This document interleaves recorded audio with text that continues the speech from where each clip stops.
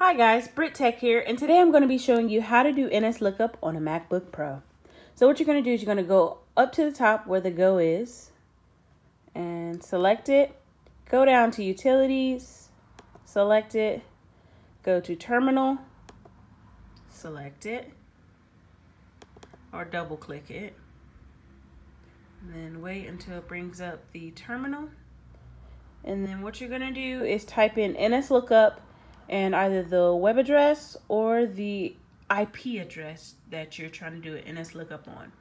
So we're gonna let's type in NS lookup.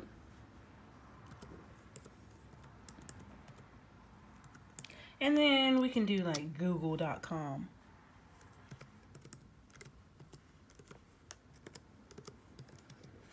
And then select enter.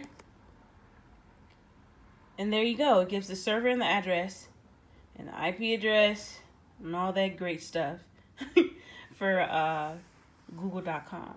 So yeah, that's how you do it, guys. Hope this helps.